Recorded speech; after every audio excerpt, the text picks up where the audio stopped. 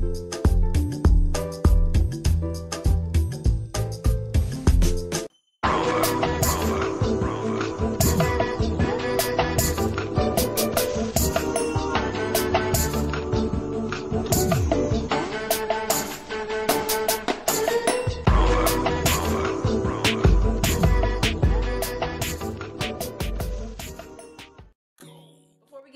i just want to say thank you to each and every one of you guys because we made it to 8,000 subscribers and that is a milestone for me. Like I really didn't think I would get 100 subscribers on this channel so 8,000 is definitely a big thing for me and I just want to say thank you to each and every one of you who watch my videos who comment who like and who subscribe to my channel.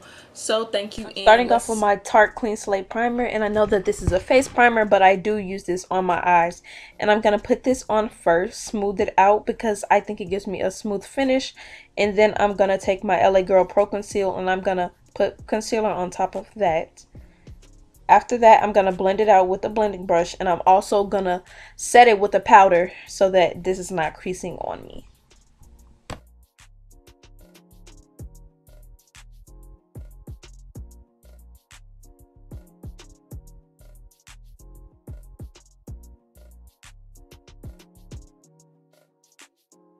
hopping right into the shadows i'm taking a very fluffy um, blending brush and i'm taking the color peanut butter from the semi-sweet chocolate bar palette and i'm putting that first as my first transition type of color.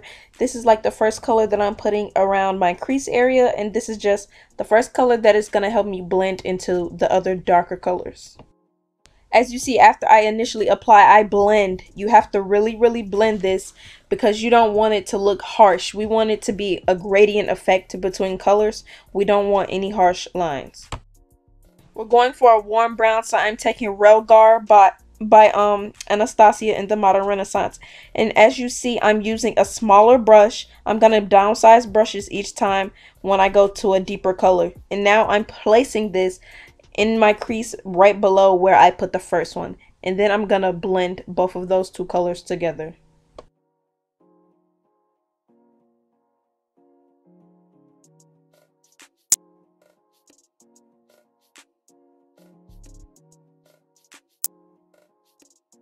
Now I'm taking this umber type of color from my Nubian palette. And as you see, I have downsized the brush and I'm going deeper into the crease with this one because I want this to be a little bit more precise. And I'm going to the crease and the outer V.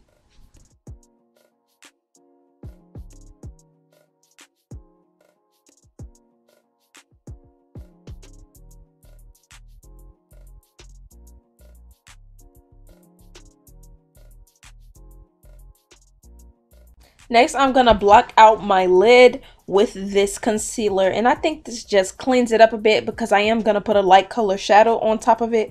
But I'm this is the why I call it a soft cut crease because it's really not a cut crease, but it kind of is.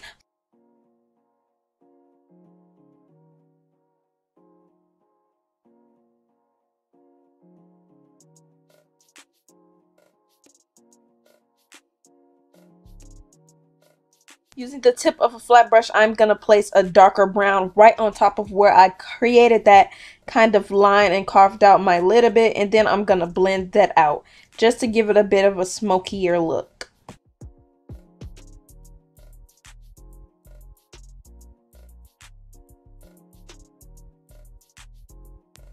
Here, I just want a little pop on my inner corners. So I'm doing a little shimmer um shadow in the inner corners and I'm kind of sweeping it onto the lid a bit. And here I'm just adding a bit of liner to the outer outer waterline. I'm not going to go throughout the whole waterline, just the outer, just to give it that smoked effect. Then I'm taking my Wet n Wild liquid liner and I'm creating a wing.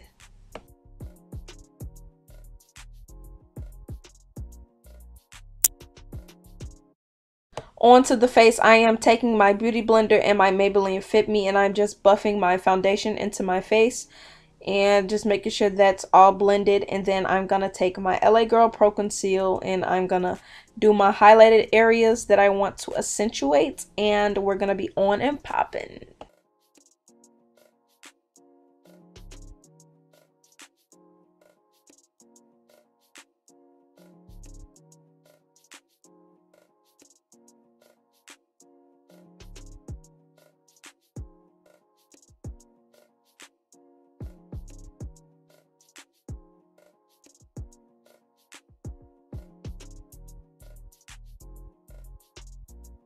I do like to use the tip of my beauty blender and I like to do everything first, saving my under eyes for last.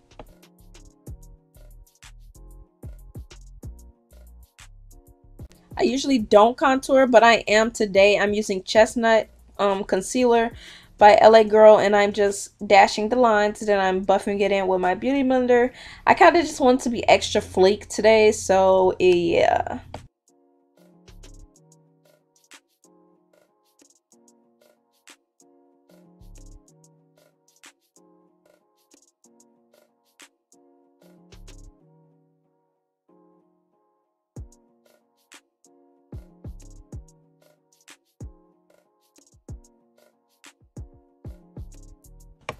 Next, I'm taking my MAC Lustre Drops and I'm just dabbing those onto the areas I wanted to highlight because this is kind of like a pre-highlight for me because I want to be glowing to the gods. So I'm just dabbing that in and then I'm taking my Kaylux Cosmetics and I'm putting on this and I actually used two two of hers today. I used most nominated and um the winner is which is gold and then a champagne type because like I said I wanted to be highlighted to the gods.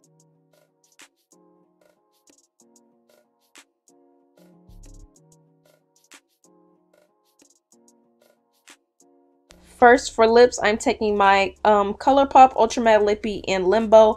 And I actually forgot how much I dislike these. They're ultimately too dry, but yeah, I used it anyways. Then I took Tansy by them as well, which was a satin lip. And then I took my NYX Matte Lip Cream in Abu Dhabi and I put that on top just to give it a more creamy, lighter effect. And then we have it and I use my UD um finishing spray to set that all in and then the look is complete.